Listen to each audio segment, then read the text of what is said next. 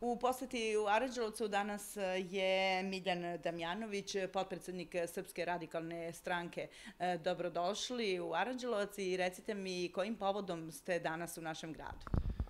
Bolje vas našao i hvala na pozivu.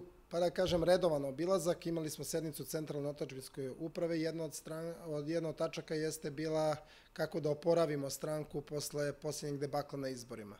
Tako da smo svi funkcioneri dobili zadatak da obiđemo sve opštine i naše opštinske odbore u čitavoj Srbiji i evo danas, da kažem, među prvima je Aranđelovac, mada sam ja ovde inače bio i često i dugo i da kažem, za sad tu se nije mnogo što šta promenilo, ovde stranka egzistira, ali naravno sada sa nekim novim tendencijama hoćemo da poboljšamo neke stvari kako bi se vratili na neki put stare slave što nam je svima zajedno cilj. Šta su vam rekli iz opštinskog odbora u Aranđelovcu? Pa generalno jeste problem taj sa kojim, koji se dešavao oko prethodnih izbora. Jeste to da smo imali, da kažem slobodno mogu reći, nefer izbore. Mi tim zaista ne kukamo. Mi poštujemo volju naroda, ali poštujemo volju naroda kada smo svi podjednaki kada se poštuje izborni zakon. I ovi izbori koji su završeni pokazali su da ko je blizak režimu onda može da dobije podršku, a mi smo slobodno mogu reći od strane ovog režima proterani, oterani, odnosno nije dozvoljeno bilo da se uđe u Skupštinu, na način na taj koji su forsirane stranke koje su sada u parlamentu.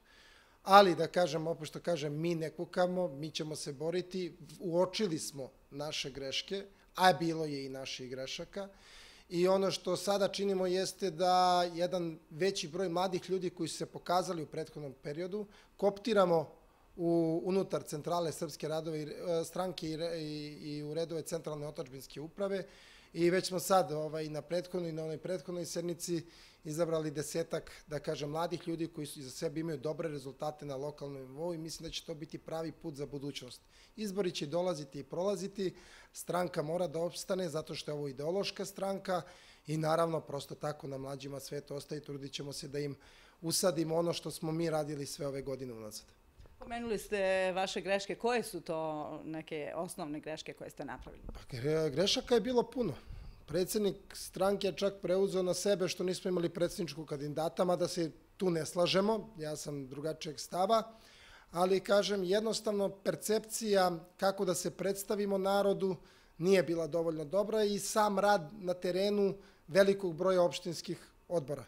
E, da biste dobili glas od čoveka, morate da pokažete iskrenost, morate da mu dođete na vrata, morate da porazgovarate i da vam kaže koji je problem. Znate, politika je jedan, jedan mnogo lepo zanimanje, ali oni se, ne možete se baviti politikom iz četiri zida. Morate i cipele i patike da pocepate i to više pari, morate da znate kad dođete negde šta je to što svakog tišti i seljaka i nezaposlenog i zaposlenog i zaposlenog u privatnom sektoru, ali i u državnom sektoru. A do tih informacija nećete doći anketiranjem, nego lepo što se kaže po starinskom, niti preko Facebooka, niti preko YouTube-a. Izvolite, kuc, kuc, dobar dan, domaćine, ajde da vidimo šta je problem. Da biste vi dobili glas tog čoveka, vi onda morate da zastupate njegov interes, odnosno problem ljudi koji imaju slične probleme kao on. I, i to ako je radila Srpska radikalna stranka do pre deseta godina. Jedno od problema koji se e, javlja jeste e, problem medije u Srbiji koji trenutno postoje. Znači, mi imamo potpuno suprotne polove. S jedne strane su prozapadni, slobodno da kažem, pro-NATO mediji koji nas ne pozivaju, ali koji, kojima samo možete čuti isključivo protiv režima, isključivo protiv Vučića, po meni rade njemu najbolju reklamu za ostatak stanovnika Srbije koji podržavaju Vučića, jer se tu čuje i što jeste i što nije. I s druge strane imamo prorežimske medije, gde je 24 sata samo hvalospevi kao da se živi, kao da pričamo o Švajcarskoj, a ne o Srbiji, i gde je naravno Vučić se pomene 3647 puta u toku dana. Ništa nemam protiv onoga što je dobro, tu smo mi radikali uvek da pohvalimo što je dobro, ali nemamo sad pričati da je sve dobro, a vidimo šta se dešava i na ekonomskom planu i na političkom planu i pritisci sa zapada, Znači, ta umerenost nije postojala i da kažem, mi se tu nismo najbolje snašli. Evo, kada je već reč o ekonomiji, čuli ste da je minimalna zarada 40.000 od 1. januara 2023. Kako uh, vi na to gledate? Pa sada vaši gledalci će verovatno reći da ja opet imam pogrešan pristup, ali ja neću da ih lažem. Da, dobro je kad svaki put, kad se povećava minimalac. Ali tu postoji više problema. Prvi problem je koliko je sve poskupelo samo u poslednjih mesec dana. Znači, to povećanje je zaista smešno. Ja sam otac troje dece i znam koliko košta, verujte mi da znam koliko košta ovaj potrošačka korpa. Ta potrošačka korpa koju oni radi istraživanje nema blage veze s vezom. Jer ja se onda postavim pitanje, pa dobro, onda znači ja ovog najmlađeg treba u vrtić da šaljem bez čarapa, patika i majice, a najstarijeg da knjige nosi u, u rukama jer nemam za ranac. To je potpuna ludost. Uh, naš predlog i naš programske načelima jeste da minimalac mora da prati realnu potrošačku korpu. Obrt kapitala. Zašto? Zato što mnogo je bitnije da ti, vi imate i 70% ljudi da živi od, od da takvog minimalca potrošački korpe, da se taj novac vraća u budžet Republike Srbije, nego sadašnju situaciju da imamo 10% prebogatih koji iznose novac iz Srbije, a ovde ljudima dajemo mnogo manja, su mnogo manja primanja i mnogo manje novca, da nema dovoljno ni da plati sve komunalije i usluge prema državi i da mu ostane za hranu ili da kupi nešto svom detetu, a da ne daj Bože da kažem da može da odvoji da negde letuje.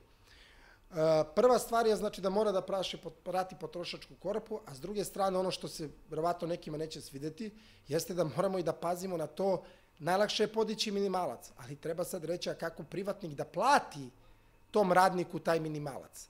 E pa gospodo iz države, smanjite onda poreze. Znači ne da plaća 60-65% koliko je porez na dohodak, na, za sve ostalo što ide za zdravstveno i ostalo, neka država kaže prve dve godine moramo da se odreknemo, pa da smanjimo na 20%, da bi prosto čovjek mogao da izvrši obrt kapitala i da plati onda to realnu platu, realni minimalac svom radniku, koji je znači minimalac na nivou minimalne potrošačke korpe da može neko jelo normalno da živi. E onda uvesti inspekcije i reći, e sad ako i to ne poštuje, onda ih zatvaraj. Odnosno kažnjavaj, nikad zatvoriti kažnjavaj, jer ako ih zatvoriš tek onda će ljudi ostati bez posla i to nije dobra stvar. Oni dođu i zatvore objekat na mesec dana. Pa čoveče, ti si onda uništio i njega i uništio si 15, 20, 30 zaposlenih. Znači, svako povećanje podržavamo, ali plansko, plansko povećanje. Znači, s jedne strane moramo da razmišljamo kako onaj koji treba da isplati tu platu, ali s druge strane moramo da razmišljamo i o čoveku da ta plata, taj minimalan iznos zaista iznosi da može da preživi s tim. Znači, smanjenje poreza, povećanje plata u odnosu na minimalnu potrošačku korpu, sav taj novac, verujte mi, se, verujte mi, vratit će se u budžet Republike Srbije i ova teška vremena jedno tako. To je jedno rešenje. Ovo je samo marketinški trik.